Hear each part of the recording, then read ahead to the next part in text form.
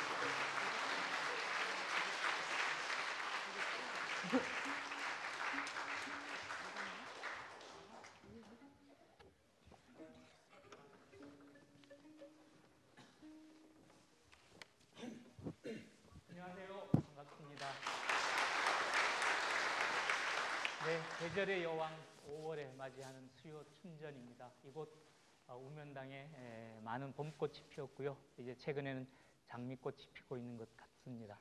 여러분들 가슴 속에도 오늘 우리 춤으로 꽃이 조금 만발하는 그런 시간이 되었으면 합니다. 아, 수요 춘전은 어, 그야말로 국악, 어, 국립국악원에서 지난 3월 4일부터 매주 어, 이렇게 우리 전통 춤의 고급스러운 향연을 펼치고 있습니다.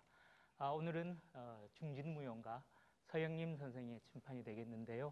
어, 그동안의 명린, 명무전 그리고 어, 다양한 공연들이 펼쳐졌는데 오늘은 오롯이 서영림 선생님의 에, 춤, 민속춤, 장고춤 그리고 전통춤, 살풀이춤 또 아울러 어, 신무용류 이렇게 해서 어, 다양한 춤으로 여러분들 만나겠습니다.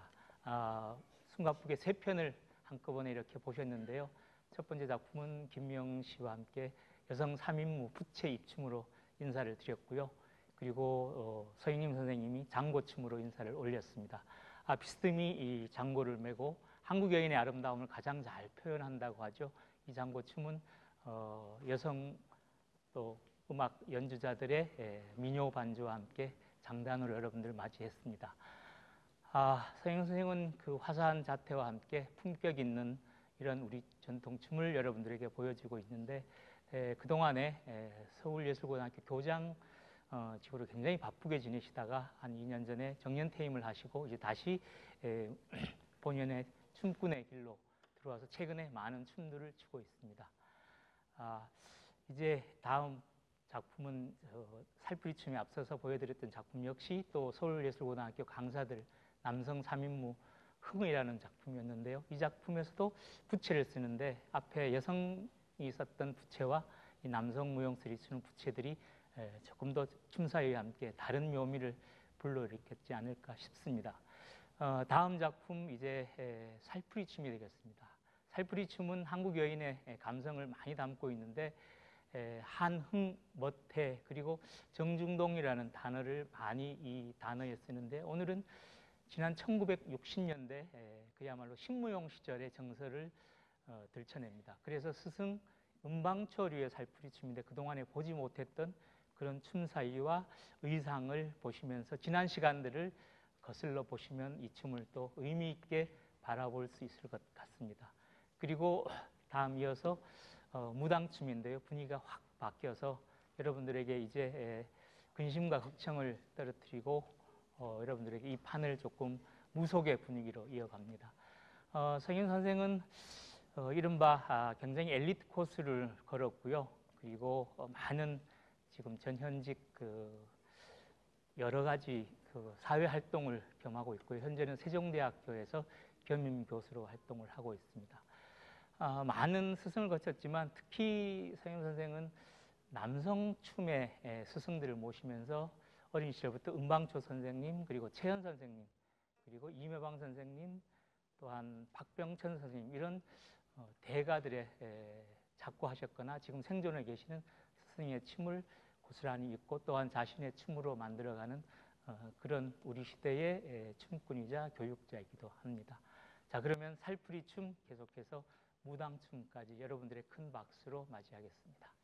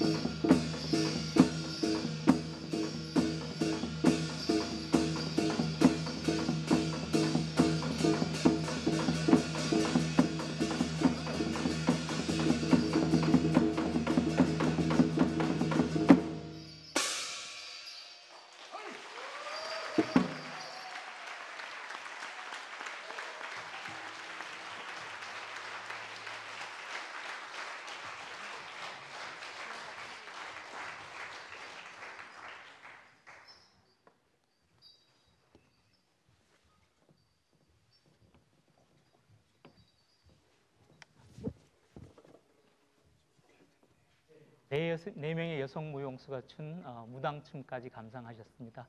아, 이들의 기운이 여러분들의 에, 이봄 기운과 함께 또 더욱더 활기찬 그런 일상이 에, 피어나길 기원해 봅니다. 아, 이 무대는 굉장히 이 예술가들한테는 어, 민낯으려고 하는 조명이 없고요. 물론 이런 탑 조명이 있긴 하지만 무용수가 춤을 추는 데는 어, 그냥 어, 조명과 그리고 무대의 여러 가지 기술적인 것들이 어, 도움이 없이 그야말로 무용수의 에, 춤으로 그리고 연주자들의 마이크 음향 확장 없이 들려지는 자연 음향으로 여러분들 만나고 있습니다. 국립국악원이 이곳 어, 풍류사랑방을 2013년에 개원해서 올해 다양한 요일별 어, 이런 공연 기획 공연들을 갖고 있습니다. 그래서 수요일은 에, 우리의 전통 춤과 그리고 다양한 춤사위들을 만날 수 있는 수요 춘전이고요. 오늘 바로 그 주인공이 에, 서영림 선생의 춤판이 되겠습니다. 어떤 평론가가 아, 서영림 선생의 어떤 춤에서 생명력, 에너지를 느낀다고 합니다. 아, 이제 다음 보실 작품이 바로 그 박병천유 어, 진도북춤. 그래서 선생은 북가 여인이라는 제목을 달고 있는데요. 어, 이 춤은 전라남도 그 진도지방의 많은 민속춤 중에 에, 가장 활달하고 양손에 북채를 들고 추기, 때문에 굉장히 장단도 화려합니다. 그 장단은 이제 전통음악 그룹 어, 유인상 선생이 이끄는 판과 함께 더욱더 흥겨운 여러분들의 남녀 어, 들판에 어, 안내를 여러분들을 해드리도록 하겠습니다. 아, 서영룡 선생은 어린 시절부터 춤에 입문을 해서 특히 할머니께서 어, 집에 에, 그야말로 춤 공간을 마련해서 여러 스승들을 직접 집에 모셔서 서영룡 선생님의 가정교사로 이렇게 해서 그야말로 어, 많은 학습을 해주셨다는 것을 우리 무용계에서는 굉장히 전설로 알고 있습니다. 아, 그러한 고마운 마음들을 오늘 이 공연에 담았다고 하는데요. 어, 지금 은방초 선생님도 아직까지 생존해 계시는데 멀리 미국에 예, 생존해 계신다고 합니다. 아, 그 선생님을 위해서 지난 2013년에는 국립국악원 예약당에서 서영님의 춤 그 향기라는 제목으로 아주 큰 공연을 헌정 공연을 가졌습니다. 아, 그 시절의 춤들과 그리고 북가 여인을 비롯해서 구곡무까지 다양한 춤을 재현했는데요. 이렇게 에, 스승의 춤을 재현하면서 또 동시대에 또 자신의 에, 춤사위를 얹어서 어, 활발하게 에, 더욱더 어, 활동하는 그런 모습을 계속해서 지켜봤으면 좋겠습니다. 아, 서영 선생님 오늘 춤판에는 또 많은 분들이 이렇게 도움을 주셨다고 해서 꼭 좀 말씀을 드려달라고 하는데요. 조안무의 김미영 선생 그리고 지도의 정지은 김영섭 선생 또 의상과 분장에는 그레타리 이용주 선생님께서 수고를 해주셨습니다. 아 이분들은 또 무대 뒤- 옆에서 또 그리고 또 로비에서 잠시 후에 또 찾아뵙겠는데요. 어, 특이하게도 어, 수요 춘전은 끝나고 나서 어, 관객들에게 인사할 때 여러분들이 기념 촬영을 또 하실 수가 있겠습니다. 오늘 마지막 북가 여인을 춤춘 서영임 선생과 함께 어, 이 감동을 조금 더 느끼신다면 사진을 또 촬영하셔도 좋고요. 어, 이제 세 번째 춤 어, 진도복 춤을 재해석한 서영임 선생의 북가 여인 다시 한번 힘찬 박수로 맞아 보겠습니다.